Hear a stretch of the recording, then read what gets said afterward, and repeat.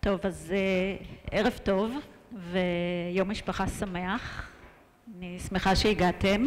להרצאה אני קראתי הכל מתחיל בבית כי התפיסה הבסיסית שעומדת מאחורי ההרצאה ואתם תראו שהיא תלווה אותה כחוט השני לכל אורכה זה שבעצם הארוחה המשפחתית היא הדבר הראשוני ביותר שאותו אנחנו פוגשים בחיים שלנו החל מהינקות ולאורך כל מעגל החיים כאשר אני אנסה להציג לאורך ההרצאה את האופן שבו הארוחה המשפחתית יכולה להוביל לבריאות נפשית ולצמיחה אישית של חברי המשפחה.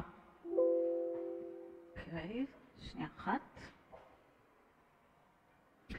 אז אני אתחיל אולי מלומר מה יהיו החלקים של ההרצאה הערב, יהיו ארבעה חלקים, אני אתחיל מהגדרה, מה זה בכלל ארוחה משפחתית חשוב לומר שלכולנו יש איזשהו מושג אינטואטיבי של מה זו ארוחה משפחתית אבל אני אנסה להגדיר אותה בצורה קצת יותר תיאורטית. בהמשך אני אדבר על הפונקציות של הארוחה המשפחתית באמצעות מבט שהוא גם מחקרי, גם קליני וגם ספרותי. אני אשתדל ככה לתת מכל דבר קצת ואז אני אעבור לדוגמה קלינית, כשפה אני אשתמש בניסיון שלי כמטפלת, אני אראה איך אני עושה שימוש בדיבור על ארוחה משפחתית גם עם הורים וגם עם ילדים כדי לקדם את הבריאות הנפשית המשפחתית ואני אסיים לדבר על נושא אחר שאני מאוד מאוד עסוקה בו במחקרים שלי וזה האופן שבו העולם הדיגיטלי משפיע על היחסים הבין אישיים. ארוחה משפחתית זה אחת הסיטואציות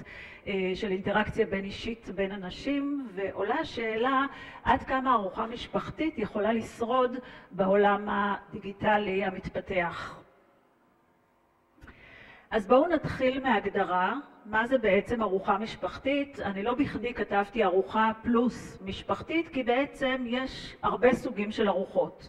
כל ארוחה זה פרק זמן שמוקדש לאכילה, יש ארוחת בוקר, ארוחת צהריים, ארוחת ערב, ארוחה רומנטית, ארוחה עסקית, לכל ארוחה כזאת יש עולם אסוציאציות שלם שמלווה אותה אבל הארוחה המשפחתית היא המורכבת מכל הארוחות, היא הקונפליקטואלית ביותר.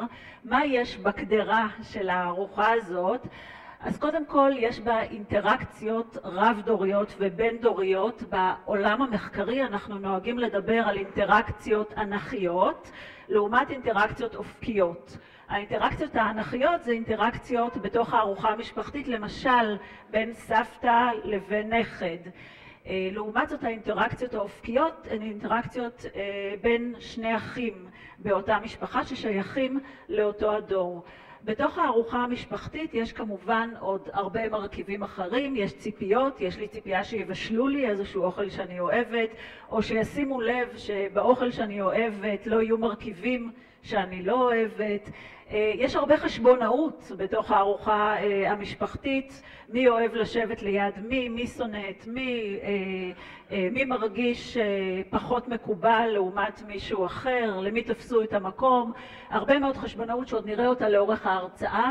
יש מפגש בין תרבויות, כשאני אומרת מפגש בין תרבויות זה יכול להיות מפגש בין עדות שונות, זה יכול להיות מפגש בין צעירים לבין מבוגרים שבעצם מייצגים עולם תרבותי שונה ועוד מפגשים תרבותיים אחרים שאנחנו נדון בהם לאורך ההרצאה.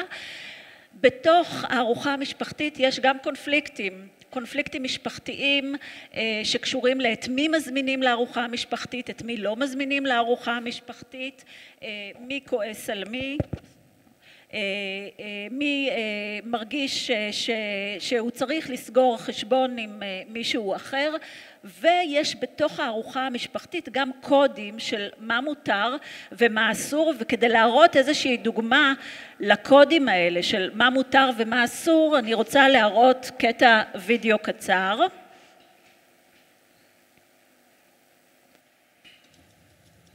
If a kiss is such a big idea, then why is it such a small word? It should be long and difficult to say. I've been trying to think of a more appropriate name for it, but nothing gives לא. me a thrill. I assume kissing should give you a thrill, but I'm afraid I'll never find out. לא שומעים את הוידאו דני? בוא תנסה להגביר את הווליום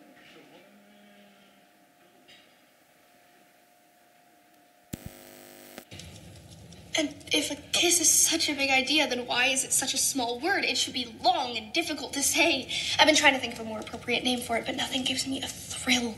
I assume kissing should give you a thrill, but I'm afraid I'll never find out. Do you think one can have a tragical romance without ever being kissed?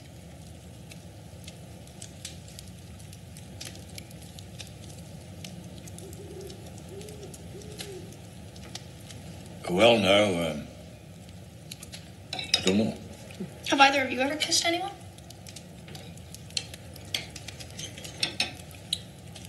I, I should, uh, For pity's sake, Anne, hold your tongue. Show some propriety here at supper. Sorry.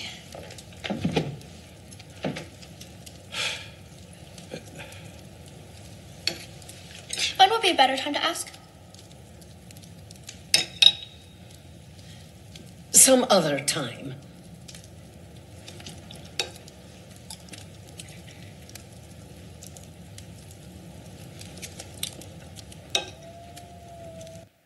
טוב, אז הנה ראינו למשל הגדרה שכשמדובר בשיחה על נשיקה ומה זה נשיקה ומה מרגישים כשמתנשקים במשפחה הזאת, במשפחה של אן, אסור לדבר על זה, בטח לא ליד שולחן האוכל, מדובר במשהו שהוא יותר יצרי ולא מקובל לדבר עליו. בכל משפחה יש קודים אחרים של על מה מותר לדבר ליד השולחן ועל מה אסור לדבר, יש משפחות שאפשר לדבר על הכל, יש משפחות שאפשר לדבר בהן רק על חלק מהדברים וזה מוביל אותי בעצם למה הפונקציות של הארוחה המשפחתית.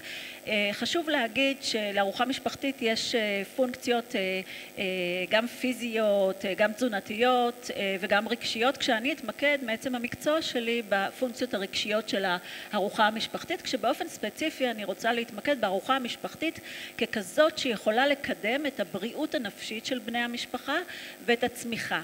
כשאני אומרת בריאות נפשית אני מתכוונת למצוקה נפשית לעומת רווחה נפשית. רווחה נפשית זה בעצם רגשות של שמחה, של עושר, לעומת מצוקה נפשית שקשורה לרגשות של לחץ וחוסר אונים.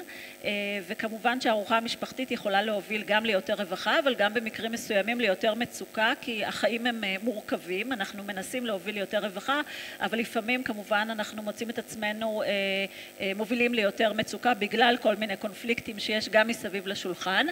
והדבר השני שאני אנסה להציג אותו זה האופן שבו הארוחה המשפחתית יכולה להוביל לצמיחה אישית. כשאני מדברת על צמיחה, אני מדברת בעצם על היכולת של האדם, של בן המשפחה, להתקדם מהמקום שבו הוא נמצא ולהגיע למקום טוב יותר, לפתח את תחושת הערך העצמי שלו, לפתח את תחושת המשמעות בחיים, להעריך את מערכות, מערכות התמיכה שנמצאות בסביבה שלו ובעצם אנחנו נראה איך כל הפונקציות של הארוחה המשפחתית, כל הפונקציות הרגשיות יכולות להוביל גם ליותר בריאות נפשית אבל גם לפחות בריאות נפשית, גם ליותר צמיחה או לא להוביל לצמיחה בכלל.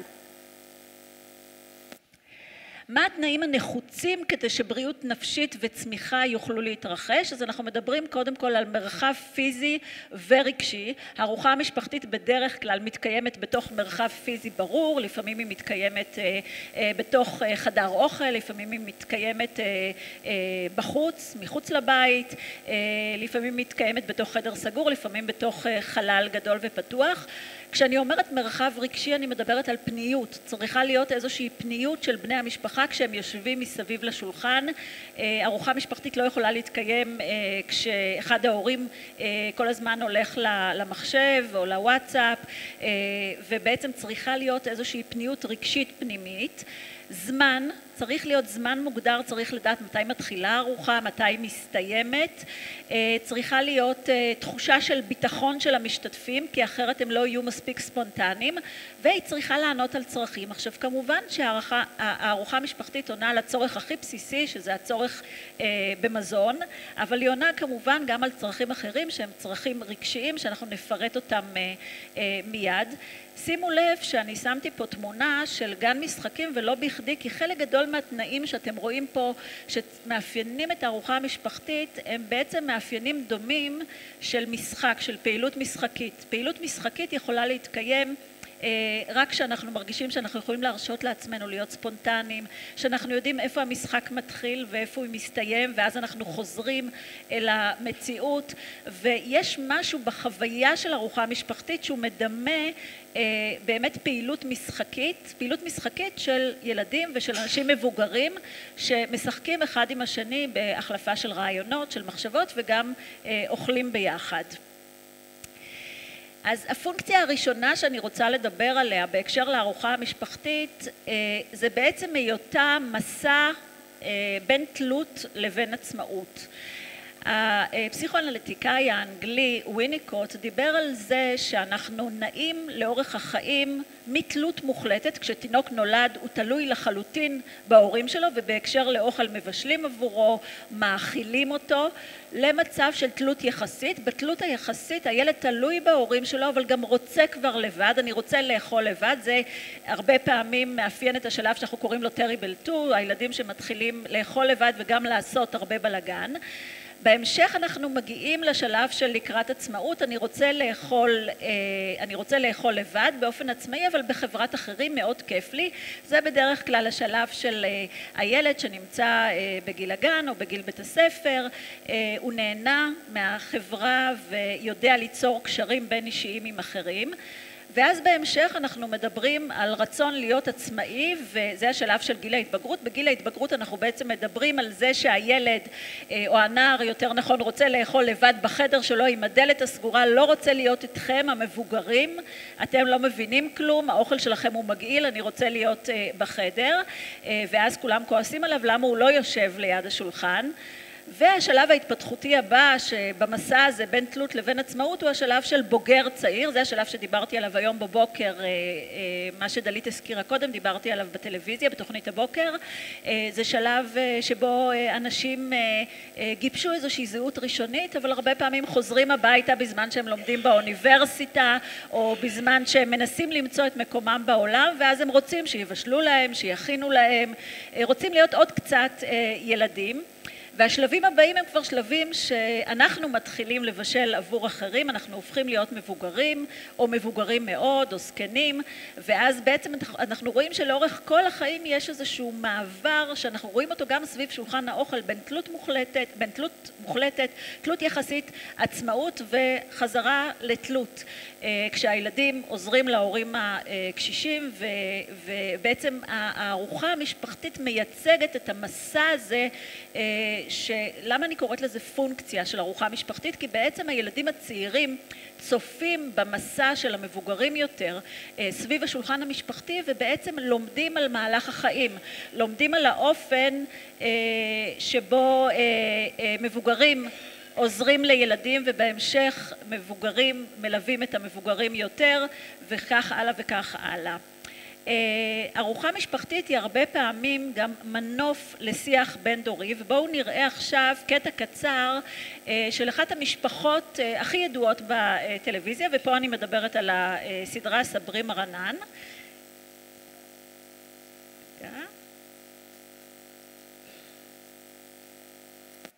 אתה קורא להם? אני עונה לטלפון. הלו? כן, פאנילה. כן. מה את אומרת? אז זה ניתוח ממש קשה. מה, לארבעה ימים? בעוד שבועיים? לא, לא, אני לא חושבת שאנחנו... אה, זה כבר הוזמן ושולם. את יודעת מה? זה בסדר, אנחנו ניקח את זה. חבל לבזבז את זה. תודה, פאני. הנה, הנכדות שלי כבר פה. אז ביי. ביי ביי, פאני. כולם פה? כן, כולם באו. אני רואה שיש פה מישהי שבא פעמיים. מה זה? זאת רבית. זאת פעם ראשונה שאני פה. ממזר. אני ידעתי שתאהבי את זה. וואו, ואיזה יופי את לבושה. מיכל, את יכולה ללמוד ממנה. מה? טוב, שקט. יש לי בשורה מופלאה. וייס עובר ניתוח קשה. זה שטויות. אני מזמינה את כולכם בעוד שבועיים, לארבעה ימים, לסוויטה בפאן הוטל. יש שם ארבעה חדרים גדולים שפונים לבריכה אחת וזה רק שלנו. אז אין לו יכול, תדחו את כל העיסוקים שלכם, כולם באים, אין שחרורים. כי אם אנחנו לא באים כולנו, אז פאני נותנת את החופשה הזאת ל... מה ליתנם? בלאט. אז זה בסדר? אה, אה, ריקי, זה לא כל כך פשוט, אני צריכה שנייה לנסות טלפון לבדוק שזה בסדר, אוקיי? אוקיי, תתקשרי, אני מחכה לך פה. טוב, אז אני יוצאת שנייה למרפסת. שי, בואי איתי שנייה. למה להפסיק אותו באמצע האוכל? צריך שניים בשביל טלפון אחד? אמא, אני אני כבר חוזר. טוב, אם כבר אז כבר. אני מחכה לכם פה. לפחות את לא לבד. ולא בחושך. מצחיק מאוד. טוב, אני מתנצלת על הרעידות אה, שהיו פה ברקע. אה, אבל אה, הרעיון מובן. בעצם אנחנו מדברים על ארוחה משפחתית ככזו שמכילה בתוכה את האפשרות לשיח בין דורי ואני חושבת שהייתה פה דוגמה מצוינת לאופן שבו בתוך הארוחה המשפחתית אנחנו פוגשים דמויות שונות, דמויות ראשיות של גיבורים ואנטי גיבורים, דמויות משנה שמאירות את הגיבורים הראשיים. ארוחה משפחתית, אנחנו הרבה פעמים לא חושבים עליה ככזו, אבל היא בעצם איזשהו סוג של יצירה ספרותית, שלכל משפחה יש את היצירה הספרותית הפרטית שלה, יש דימויים ומטאפורות בתוך הארוחה המשפחתית, המנומס, הבלגניסט, מספר הבדיחות, המקטר, והרבה מהקשיים שנוצרים במשפחות קשורים לכעס על דימוי אישי או דימוי משפחי, משפחתי שדבק בנו סביב שולחן האוכל. ואני רוצה להגיד שבטיפול הרבה מאוד פעמים, ואני אראה לכם אחר כך דוגמה קונקרטית, אנשים מגיעים ומדברים על בעיות שיש סביב שולחן האוכל. אני עובדת הרבה עם ילדים והרבה פעמים באים הורים ומתלוננים על הילד שעיקר הבעיות איתו זה שהוא עושה בלאגן, נגיד בשולחן שבת, או שהוא אף פעם לא יכול לשבת, או שהוא מעיף את כל האוכל לכל הכיוונים. או על איזושהי מישהי שמדברת על חמותה ואומרת היא בלתי נסבלת והיא כל הזמן עוקצת אותי, ממש כמו אותה ריקי. והרבה פעמים בתוך טיפול אנחנו מנסים במהלך העבודה לעשות הגדרה מחדש. למשל, הילד הטוב מוגדר כילד השקט או הילד המציית לחוקים והילד הרע מוגדר הרבה פעמים גם בתור הילד השמח, הילד הספונטני ואז אנחנו רואים שהטוב הוא לא רק טוב והרע הוא לא רק רע וכשאנחנו עושים הגדרה מחדש אנחנו בעצם מאפשרים לאנשים לצאת מהתפקידים שבהם הם נמצאים. עכשיו תראו הארוחה המשפחתית במונחים רבים היא בעצם כמו איזושהי מצלמה שמצלמת את המצב שבו נמצאים היחסים במשפחה. והרבה פעמים אנשים מסתובבים במשך שנים עם תחושה שלא אוהבים אותם או שהם לא יוצלחים או שהם בלגניסטים. וכששואלים אותם למה אתה מתכוון? בוא תיתן לי דוגמה אז הם אומרים למשל כשהייתי ילד והיינו יושבים ביחד ואוכלים אז ומאז הדימוי הזה מלווה אותי והרבה פעמים צריך לעשות את השינוי סביב שולחן האוכל. אני לא יודעת אם אתם יודעים אבל יש גישות מסוימות של טיפול משפחתי שחדר הטיפול בנוי בצורה של שולחן אוכל כאשר המטרה היא בעצם לעשות שינוי באינטראקציות בין בני המשפחה סביב שולחן אוכל מדומה כי חדר הטיפול הוא בעצם מיקרוקוסמוס שמדמה את העולם האמיתי במקרה הזה העולם האמיתי הוא העולם של המשפחה חדר הטיפול יכול להיות כמובן גם מיקרוקוסמוס להרבה מצבים אחרים, למצבים חברתיים או למצבים אחרים שאנחנו צריכים להתמודד איתם בתוך בחיים שלנו. עוד עוד פונקציה שיש לארוחה המשפחתית וזה רלוונטי בעיקר לילדים אבל לא רק לילדים גם למבוגרים זה הנושא של למידה. סביב שולחן האוכל אפשר ללמוד הרבה מאוד דברים. כדי שנוכל להבין למה הכוונה בלמידה אני אשתמש בתיאוריה של ג'אן פיאג'ה. התיאוריה הקוגנטיבית שלו מדברת על שלושה מושגים מרכזיים שהם הבסיס לכל למידה. סכמה שזה בעצם המידע שיש לי בקשר למושג מסוים למשל הידע שיש לי בקשר למה זה ארוחה או מה זה ארוחה משפחתית ולכל אחד מהאנשים שיושבים פה יש ידע אחר שקשור לעולם האסוציאציות הפרטי שלו, גם אם זה שני אנשים מאותה יחידה משפחתית, כל אחד בעצם מביא את אה, עולם האסוציאציות שלו. יש את הנושא של הטמעה, הטמעה זה האופן שבו אני רוכש ידע חדש ומטמיע אותו לתוכי, ויש התאמה, זה האופן שבו אני מתאים את הידע החדש שרכשתי לידע הקודם שהיה לי. אני אתן דוגמה כדי להסביר למה אני מתכוונת, אה, אה, פיאג'ן נותן את הדוגמה של הכלב, החתול ומה שביניהם. ילד שלומד משהו בפעם הראשונה, לומד שמי שהולך על ארבע נקרא כלב, ואז הוא מגלה להפתעתו שיש כאלה שהולכים על ארבע, אבל הם חתולים. ובהמשך הוא לומד שיש כלבים בכל מיני צורות וגדלים. ואז הוא לומד שיש כלבים גזעיים ויש כלבים מעורבים, ובהמשך שיש כלבים חסרי בית שמטופלים על ידי העמותות, וכן הלאה וכן הלאה. ככה אנחנו בעצם רוכשים ידע חדש על מה שקורה בעולם. תחשבו על הארוחה המשפחתית כמרחב למידה מדהים. כל מה שקורה מסביב לשולחן בעצם מאפשר לנו לרכוש ידע על דברים שקורים אה, בעולם וקורים סביב השולחן כל שבוע דברים אחרים, ואם מדובר על ארוחה במשפחה הגרעינית, לא במשפחה המורחבת, הרי שיכולים לקרות אה, דברים על אה, בסיס אה, יומיומי. מה אפשר ללמוד? אז קודם כל אפשר סביב שולחן האוכל ללמוד למידה חושית, סוגים של אוכל, מאכלים חדשים. בשנים האחרונות הלמידה החושית אה, היא מאוד מאוד מרכזית אה, בתחום הטיפול, בין היתר כי מאובחנים יותר ויותר ילדים עם בעיות בוויסות החושי. בעיות בוויסות החושי זה בעיות במערכת החושים, למשל ילדים שיש להם איזושהי רגישות סביב מרקמים מסוימים, שלא יכולים לאכול למשל גבינת קוטג' שבנויה בצורה של גרגרים ורק אה, אה, גבינה לבנה שהמרקם שלה חלק יותר.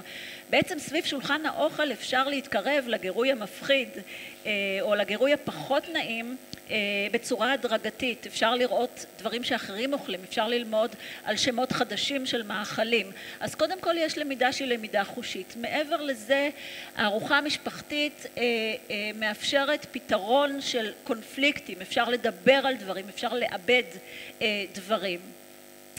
עוד דבר שמאוד מעניין שיכול לקרות סביב שולחן האוכל זה לפתח דרך התבוננות שונה על אותה סוגיה, שלזה אנחנו קוראים בשפה המקצועית חשיבה דיפרנציאלית. למה הכוונה? זה יכול להיות אפילו שיחה על פוליטיקה. שאחד מבני המשפחה אומר אה, אני מצביע אה, לנתניהו ומישהו אחר אומר אה, אני מצביע לגנץ ובעצם אנחנו רואים שרגע יש מערכת פוליטית ואפשר להצביע לא כולם חייבים להצביע אותו דבר. החשיבה הדיפרנציאלית יכולה כמובן להיות קשורה גם בהקשר למאכלים שאנחנו בוחרים. אחד אוכל את זה ואחד אוכל משהו אחר. ובהקשר הזה אני יכולה לספר לכם שילד בטיפול אמר לי בדיוק לפני שבוע בכעס מאוד מאוד מאוד גדול, אה, הם החליטו בשבת, אה, בגלל שירד גשם, אה, לעשות ארוחה של צ'ונט, והם יודעים שאני שונאת צ'ונט. והם אמרו לי תחכה בסבלנות עד שנעשה לך את הצ'יפס שלך ולא רציתי לחכות בסבלנות אז הלכתי לחדר. עכשיו דרך זה יכולתי לדבר איתו בעצם על שונות בין אנשים ועל, ועל מה זה שכולם אוכלים משהו אחד ואחרים והוא רוצה לאכול משהו אחר. על העדפות הפרטיות שלו על הזהות המובחנת שלו בקשר לאוכל. סביב שולחן האוכל אפשר גם ההורים גם הסבים והסבתות יכולים בעצם ללמד את הילדים את המושגים האלה. עוד דבר שנלמד סביב השולחן המשפחתי זה הנושא של ערכים משפחתיים. לכל משפחה יש את הערכים שחשובים לה, ערך של נתינה, של התנדבות, ערך של uh, uh, קבלת האחר, uh, ערך של חמלה, ואפשר לחשוב עוד על הרבה מאוד uh, ערכים, וחשוב לציין שהערכים המשפחתיים מבחינה פסיכולוגית התפתחותית הם הבסיס לפיתוח של הערכים החברתיים. מה שאני לומד בבית, הכל מתחיל בבית, מה שאני לומד שם הופך אחר כך להיות חלק מהלמידה שלי של איך מתנהגים מחוץ לבית. אם אני לומד בבית מה זה שיתוף ומה זה נתינה, אני לומד גם בחוץ מה זה שיתוף ומה זה נתינה. אם אני לומד בבית לדחות סיפוקים, אני אחר כך לומד בחוץ לדחות סיפוקים פשוטים ביותר, כמו למשל אה, לחכות עד לסוף השיעור אה, בבית הספר כדי לצאת לשירותים. או בתור אדם מבוגר אה, לחכות עד שיתחלף הרמזור כדי שאני אוכל לנסוע. כנראה שבחברה הישראלית אנחנו פחות חזקים בחינוך לדבר הזה, אבל זה אחד הדברים שבהחלט יכולים להילמד. אז הדברים האלה הם חלק מהמרכיבים הרגשיים שיכולים להילמד סביב השולחן של הארוחה המשפחתית. בטיפולים אני ממליצה שכל אחד מבני המשפחה יספר על משהו שקרה לו השבוע. בדרך כלל אנחנו לא נוהגים לספר, אנחנו עייפים וכשאנחנו חוזרים הביתה אז אנחנו שוב ככה בתוך המיילים שלנו ובתוך הוואטסאפים או סתם רוצים קצת שקט וכשאנחנו יושבים סביב השולחן המשפחתי יש לנו בעצם את היכולת להגיד אתם יודעים היום בעבודה היה לי ככה וככה או בתחילת השבוע הבוס שלי קרא לי ואמר לי ככה וככה או שאני יכולה לספר לילדים שלי כמי שעובדת באוניברסיטה השבוע שלחתי איזשהו מאמר לפרסום, אני מקווה שהמאמר הזה יתקבל ואני יכולה לספר להם על התהליך שהיה כרוך בשליחת המאמר לפרסום ודרך זה הם לומדים גם על, גם על החוויות שלי ולי יש בעצם האפשרות לעשות איזושהי וינטלציה לרגשות שלי, לתחושות שלי שהן יכולות להיות תחושות מעורבות אבל גם להוות איזשהו מודל לחיקוי עבור הילדים מודל לחיקוי של איך אנחנו בונים קריירה, מודל לחיקוי של איך אנחנו פותרים קונפליקטים, מודל לחיקוי של איך אנחנו ניגשים לבעיה, איך אנחנו פותרים אותה. הרבה מאוד ילדים מגיעים היום לטיפול סביב בעיות חברתיות והיעדר כישורים חברתיים ואחד הדברים שמפתיעים זה שעל פני הדברים לא רואים שיש להם איזשהו קושי תקשורתי שבעבר אפיין את אותם הילדים שהיו מגיעים לטיפול. ואז בעצם עולה השאלה למה הילד הזה הגיע, למה הילד הזה הגיע לטיפול ואני חושבת שאחת התשובות קשורה בזה שאנחנו חיים באמת בעולם שיש בו פחות הזדמנויות להיחשף לחוויות של אינטראקציה בין אישית. אנחנו אפילו לא מרגישים עד כמה אנחנו לא חושפים את הילדים שלנו לחוויות כאלה והרבה פעמים דרך אגב בתוך טיפול צריך ליצור מצבים מלאכותיים שבהם אנחנו חושפים את הילדים לאינטראקציה עם ההורים שלהם ולנסות אחר כך ליצור את אותה אינטראקציה גם בתוך המערכת המשפחתית. מהבחינה הזאת שולחן האוכל הוא מקום מצוין כדי ליצור את האינטראקציה הזאת. הארוחה המשפחתית יכולה להיות מנוף לדברים נוספים, למשל מנוף לחיזוק הערך העצמי, מישהו מקשיב לדעות שלי, מישהו מתעניין בי, זה דבר שהוא מאוד מאוד משמעותי גם לילדים, גם לבוגרים, גם למבוגרים. למידה על שונות, דיברתי על זה קצת קודם, כל אחד אוהב לאכול משהו אחר, כל אחד אוכל בקצב אחר החיים שלנו מורכבים מהיכולת לקבל את האחר, לקבל את השונה. רק היום היו עסוקים כלי התקשורת בשימוש שנעשה על ידי חבר הכנסת אמסלם בביטוי, הוא קרא לגנץ אוטיסט והיה כעס מאוד מאוד גדול, בצדק לטעמי, על זה שנעשה שימוש במילה אוטיסט ובעצם אחד הדיונים שעלה בתקשורת סביב העניין הזה זה עד כמה כחברה אנחנו יכולים להיות רגישים לאחר ולדעת שכשאני אומר אוטיסט אני בעצם פוגע בקבוצה שלמה של אנשים שהם אנשים שונים, שהם אנשים שמאוד תלויים בהורים שלהם או בסביבה שלהם. בארוחה משפחתית אפשר ללמוד גם על תהליכים, החל מתכנון הארוחה, דרך החלוקה של הכנת האוכל, חלוקת התפקידים במהלך הארוחה, מי עושה מה, הגשת המזון, פינוי הצלחות, הדחת כלים. הדבר הזה הוא גם, הוא לא ברור מאליו. אני הרבה פעמים אוהבת לספר ש, שאחד הדברים שמאפיינים את הסטודנטים שלי היום בניגוד לעבר זה שהם שואלים אותי ביום הראשון של התואר הראשון איך אפשר לפתוח קליניקה ואני אומרת להם חכה אתה, אתה ביום הראשון של בית ספר לעבודה סוציאלית אתה יודע כמה שנים עברו עד שאני פתחתי קליניקה אבל זה לא מעניין אותם הם רוצים כאן ועכשיו. ו, וזה בדיוק העניין כשאנחנו מלמדים את הילדים שלנו מה זה תהליך. ואגב אני אומרת אף פעם לא מאוחר אני, אני גם את הסטודנטים הרבה פעמים מרגישה שאני מחנכת ומלמדת מה זה תהליך. מה זה להתאפק מה זה לבנות דברים בצורה הדרגתית בצורה נכונה בצורה שיטתית סביב הארוחה שזה נראה כל כך פשוט ואנחנו אפילו לא שמים לב לזה אבל אנחנו בעצם מחנכים את הילדים שלנו למה זה תהליך עוד דבר שקורה בארוחה המשפחתית, אני קראתי לו משחק הכיסאות וכאן אני כבר נותנת דוגמה מתוך הפרק של מסיבת התה המטורפת באליס בארץ הפלאות. היה שם שולחן ערוך מתחת לעץ לפני הבית והארנב הנמרץ והכובען שתו תה. נמנמן ישב ביניהם שקוע בשינה עמוקה. השולחן היה רחב ממדים אבל כל השלושה הצטופפו יחדיו בפינה אחת. אין מקום, אין מקום, הם הזדעקו כשהבחינו באליס מתקרבת. יש המון מקום, אמרה אליס בכעס והתיישבה בכורסה גדולה בקצה השולחן. מי לא מכיר את משחק הכיסאות שיש בתוך ארוחה משפחתית? יש מקום קבוע לעומת מקום משתנה, האם אני יושב ליד ההורים, ליד האחים, ליד סבתא, האם יושבים בגושים משפחתיים או בתתי מערכות משפחתיות, מה אומר כל מקום, מה יקרה אם אני אשנה מקום, אם דיברתי קודם על לשנות דימוי של אנשים מהשובב או המצחיקן, האם אנחנו יכולים לשנות גם מקום וזה גם יעשה איזשהו שינוי, אז גם על העניין הזה אנחנו יכולים ללמוד הרבה מאוד.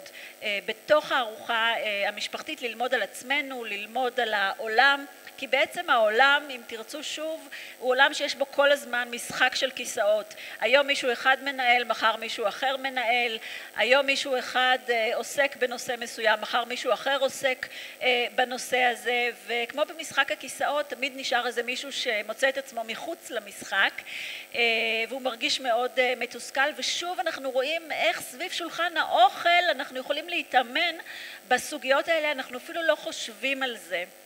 אני רוצה עכשיו לעבור בעצם לחלק השלישי של ההרצאה הזאת ולהראות לכם, או יותר נכון, אני גם אראה וגם אספר, דוגמה מתוך הקליניקה.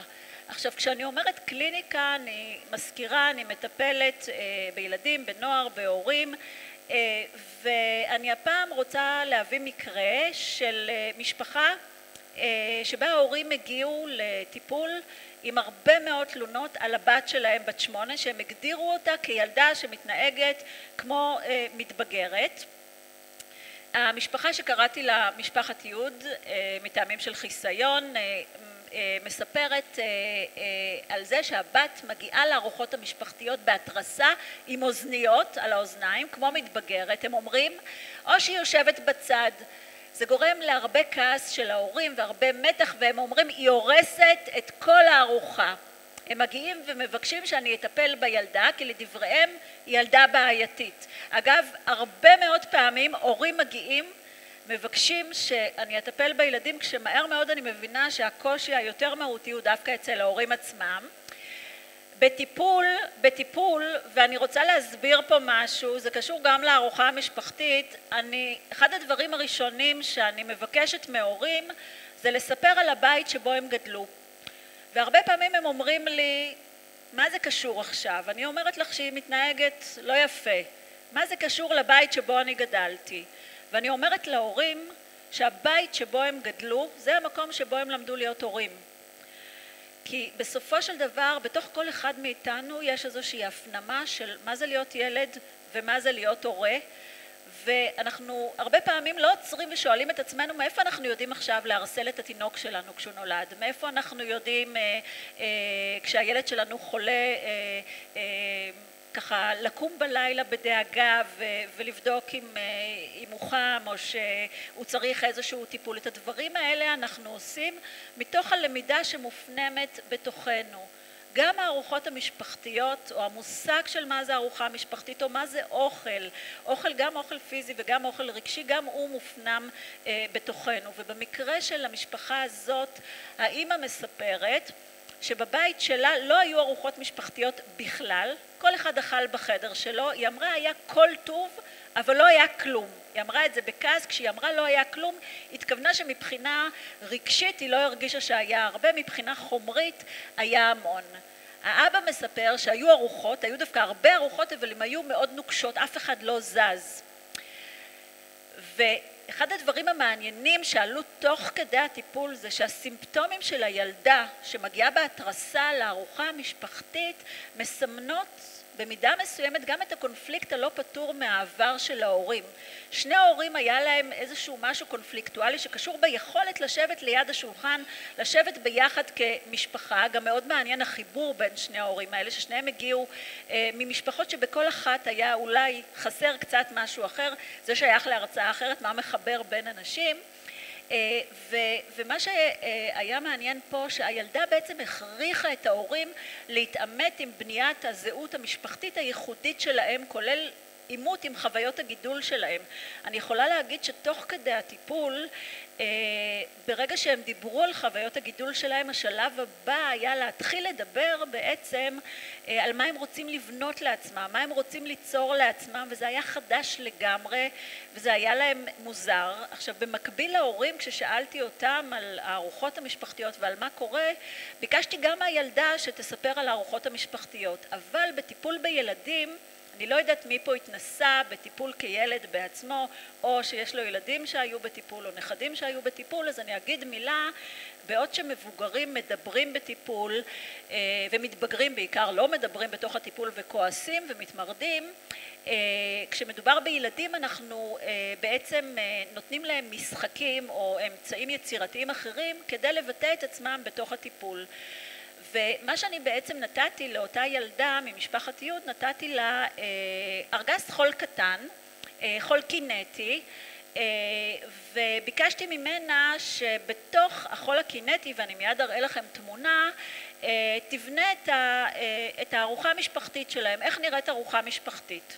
וזה מה שהיא עשתה, אני לא יודעת כמה אפשר לראות אבל בעצם מה, ש, מה שהיא אמרה לי, היא אמרה לי זאתי אני אה, זה אימא, זה אח שלה הקטן, וזה אבא. אחד הדברים שהיו מעניינים שהיא ממש הקפידה לסובב, אימא מחזיקה את הראש בצד אחד, אבא מחזיק את הראש אה, לכיוון אה, הצד השני, האח יושב באמצע והיא בצד. עכשיו הרבה פעמים מתוך המקום הזה אפשר להתחיל אה, לדון עם הילדים על איך הם מרגישים ואמרתי לה למשל יכולתי להגיד לה וואו אני רואה שאת את בצד את לא עם כולם. זאת הייתה בעצם איזושהי דרך אה, עקיפה לדבר איתה על התחושות שלה ועל זה שהיא בצד. אילו הייתי מדברת איתה על זה באופן ישיר ככל הנראה היא לא הייתה משתפת אה, פעולה אני תמיד, אה, כשילדים אה, אה, עושים איזושהי יצירה, אני תמיד מצלמת, והרבה פעמים משתמשת בזה גם ומראה להורים, כי אני אומרת להם, הנה תמונה, זה קצת תמונת אולטרסאונד, אם תרצו, או, או תקראו לזה בכל שם אחר שאתם רוצים, רנטגן, של מה קורה בתוך המשפחה שלכם, דרך העיניים של הבת שלכם. ככה נראית הארוחה המשפחתית דרך העיניים שלה. אני יכולה להגיד לכם שכשהראיתי את זה להורים, האבא שתק והאימא הגיבה בוואו.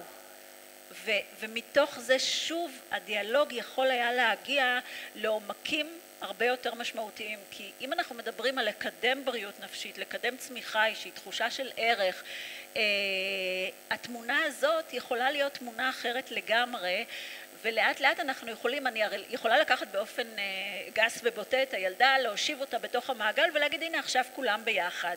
אבל במציאות זה לא ככה, כשיש איזושהי תחושה של קונפליקט צריך להתייחס לקונפליקט, צריך לפתור את הקונפליקט ואז לאט לאט הילדה יכולה להתקרב לתוך המעגל והאימא והאבא יכולים להביט לאותו כיוון וכל המשפחה בעצם נמצאת אה, בתוך אה, אותו מרחב. אני רוצה אה, לסיים אה, בדבר שאני חושבת שאי אפשר בלעדיו אה, וזה הנושא של מה גורלן של הארוחות המשפחתיות בעולם הדיגיטלי. כי בעולם הדיגיטלי אנחנו בעצם מתקשרים בינינו בתוך קבוצות וואטסאפ משפחתיות הרבה פעמים אה, שולחים צילומים של אה, פיקניקים או של אה, סתם מה אנחנו עושים עכשיו כל אחד בבית שלו. ואז עולה השאלה האם אנחנו בעצם צריכים בכלל את הארוחות המשפחתיות? והרבה פעמים התגובה האינטואטיבית של אנשים ששייכים לדור שלי או אנשים שמבוגרים ממני זה עוד מעט כבר לא יהיה בכלל מפגש בין אנשים. העולם הישן העולם האנלוגי הולך ונעלם והסיבה שאנחנו הרבה פעמים מרגישים את זה זה כי בעצם בתוך הארוחות המשפחתיות יש מפגש בין שני סוגים של אנשים בין מה שאנחנו קוראים מהגרים דיגיטליים לבין ילידים דיגיטליים. הילידים הדיגיטליים הם הדור הצעיר, הדור שגדל לתוך העולם הטכנולוגי ומבחינתו זה ברור שאני מביא את הטלפון שלי לתוך, אל שולחן האוכל. כמו שאמרה לי איזושהי נערה שפגשתי לפני שבוע, היא אמרה לי, היא באה ככה עם הטלפון שלה בכיס והיא אמרה לי, זה כל הזמן פה, זה חלק ממני. והיא אמרה לי, ואתם המבוגרים חושבים שאנחנו לא נחמדים, אבל תדעי לך שפעם הכרתי איזשהו מישהו והוא בא לפגוש אותי והוא שאל איך מגיעים לבית שלי ואף אחד מהמבוגרים לא רצה לעזור לו ומי שעזר לו זה אנשים בגיל שלי שאתם המבוגרים חושבים שהם לא נחמדים כי הם כל הזמן מחוברים לדבר הזה.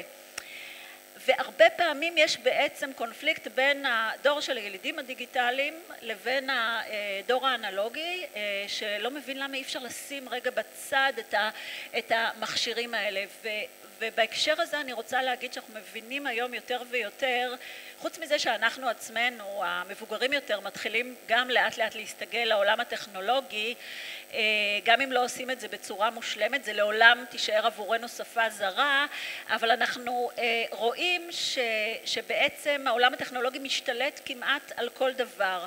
אבל וזה מאוד אבל מאוד מאוד גדול אנחנו לא יכולים באמת להרחיק את האמצעים הדיגיטליים מהשולחן המשפחתי ואנחנו יכולים כן לצמצם את ההופעה שלהם בתוך השולחן המשפחתי ולהגיד אוקיי אז בואו נשתמש בטלפון שלנו כדי לתאם את הארוחה המשפחתית בואו נשתמש בטלפון שלנו כדי לצלם תמונה יפה בתוך הארוחה המשפחתית ואחר כך לשלוח אותה בקבוצה המשפחתית אבל במהלך הארוחה עצמה בואו נדבר בינינו ומחקרים מראים באופן חד משמעי שהבריאות הנפשית המיטבית ביותר מושגת כאשר אנחנו משלבים בין העולם הדיגיטלי לבין העולם האנלוגי.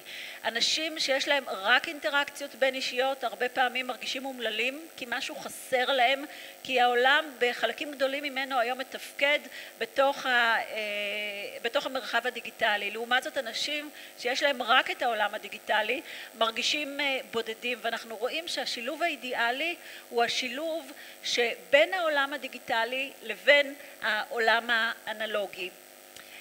וכדי לסכם את הדברים שדיברתי עליהם כאן לפני שאני פונה אליכם ושואלת אם יש לכם שאלות או מחשבות על מה שאמרתי אז אני רוצה להגיד כמה דברים.